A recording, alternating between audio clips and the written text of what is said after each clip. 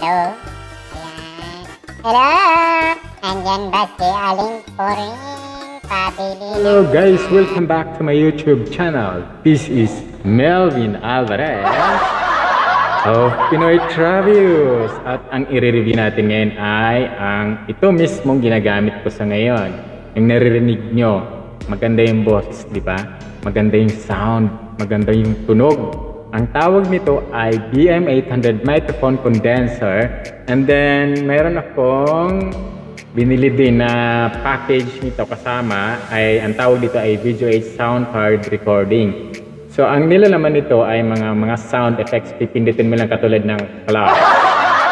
So, yun, di ba gumagana siya? Maganda ang tunog, kaya ah, ginawan ko ito ng review kasi medyo maganda talaga. Although basic lang itong na, na, nabili ko, ano?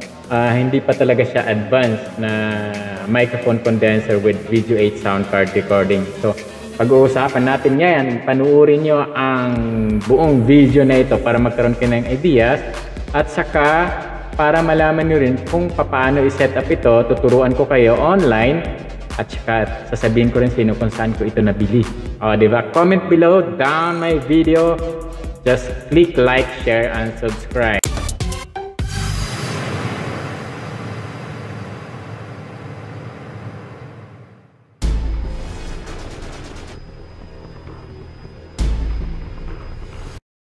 Few moments later. Hello, Durian. So, guys, ito na yung um, microphone uh, condenser na binili ko. Isang set siya sa shop, pero hindi ko alam bakit ganito yung packaging mo lang. Ganyan lang siya. Ngayon, bubuksan natin. Ano.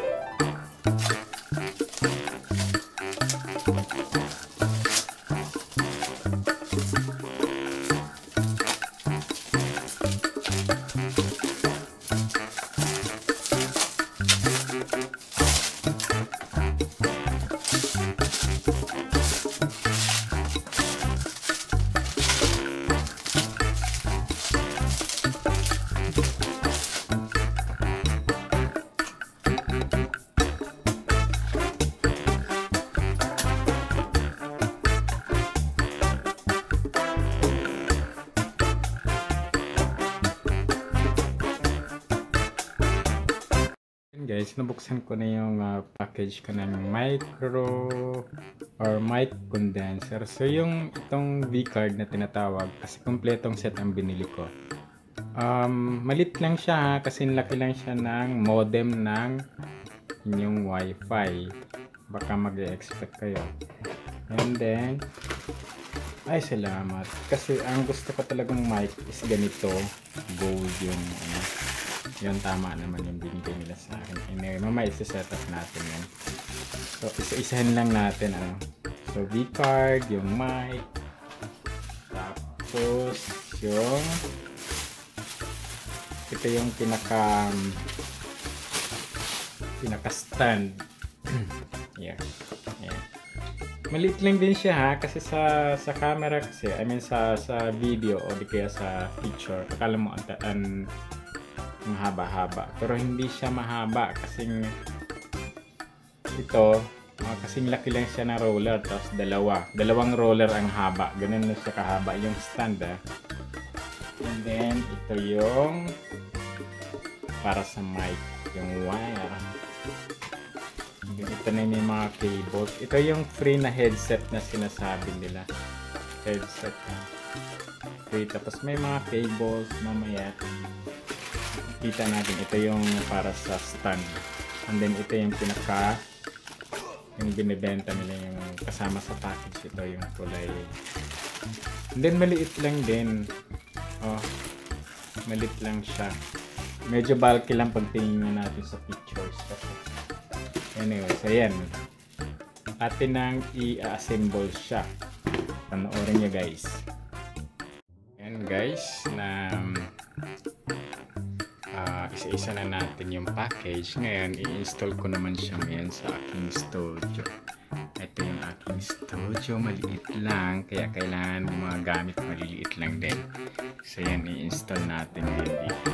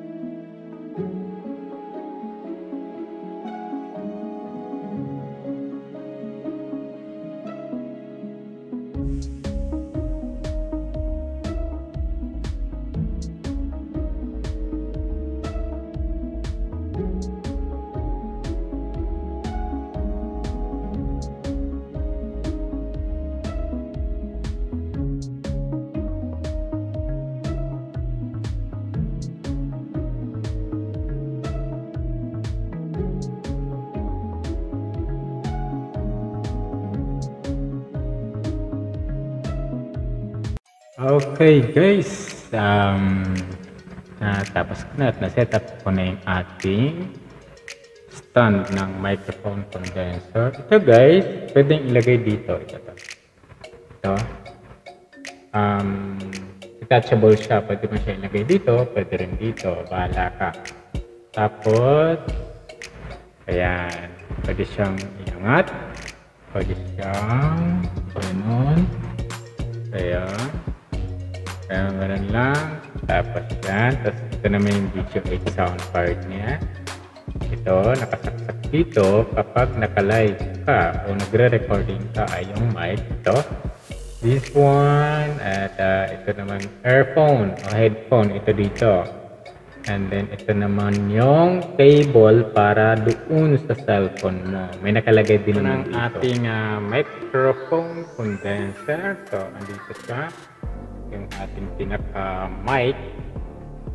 Pinaka-mic ay madali lang naman siyang i-install. Kung hindi nyo kabisado, manood muna kayo ng YouTube bago na i-install. At kaya kung may manual naman kasama yung binili nyo, um, yun.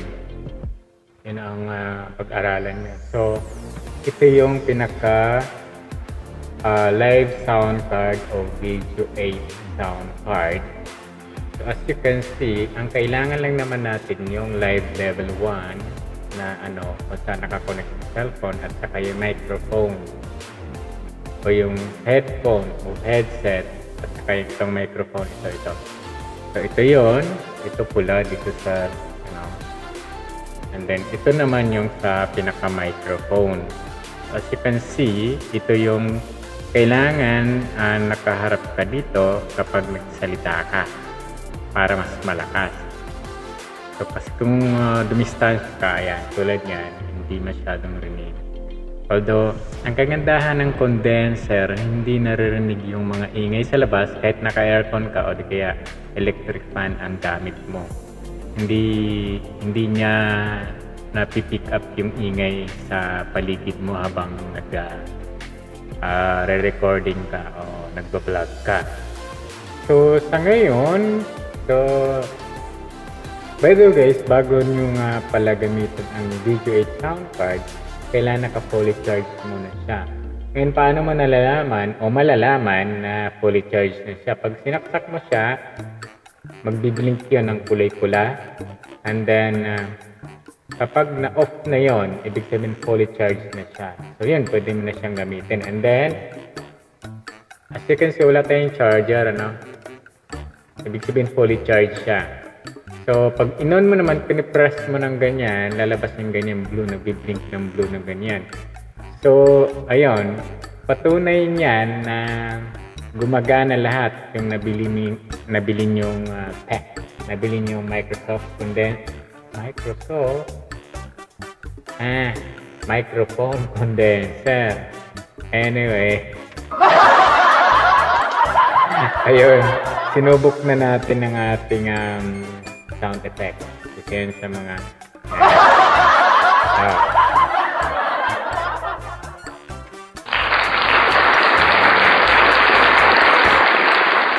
Ayan yung mga sound effect. Ding, ding, ding! Mm. Pati pa gumagana siya. Dile dile, dile dile yo alergia, mile mile, mile mile. Yung mga sound effects, 1, 2, 3, 4, 5, 6. Isang dosen na ang sound effects nitong uh, live sound card video 8. Um, basic lang nito. Mayroon pang mas advanced nito. Hindi ko natin. Cheer ang tawag doon. Pindutin naman natin yung Imbara. Ah, ayun yung mga ginagamit ng mga vlogger. Gun. Despite.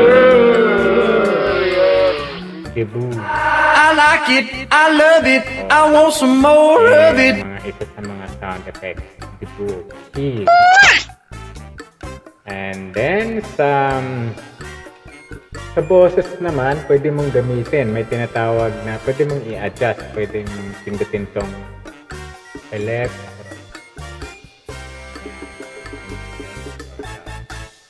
Pwede mong pindutin yung pindutin yung pitch band. Ayan. Oo, di ba? Nag-iiba ang boses ko. Narinig din dito. Hello, ayun. Nag-iiba ang boss. So, kailangan nandito talaga tayo sa mic kasi kung hindi. Ayan. Ayan, pindit natin yung pitch bend. Hello? Ayan. Hello? Nandyan ba si Aling Puring? Pabili ng saging at suka. Ayun. Naman natin ang. Nag-iiba siya. Ayan. Okay, normal na tayo. So, pindutin naman natin yung ah, elimination. Anong magiging sound ah, ng aking boses. Hello. Yan. Elimination. This is sound. Shockwave. Shockwave. Hello. Hi. Shockwave. Pindutin naman natin yung MC. Iba lang yung MC. Ayan. Tapos yung Dodge. Ah, Dodge. Maganda yung effect. Kapag pinilit mo yung Dodge. Mas ano, um, mas malinaw. So, I choose Dodge. Yan na lang ang gusto ko. So, yun. So, guys, ito nga yung aking nabiling microphone condenser sa isang app. Ayaw pang banggitin kasi hindi naman nag-sponsor sa akin. Ayun. So, dyan nagtatapos ang ating pagre-review ng mic condenser at Video 8 sound file. Okay? So, pa-click na lang ang like, um, share, and subscribe. Thank you for watching. This is Melvin Alvarez of Pinoy Travels once again. Salamat guys.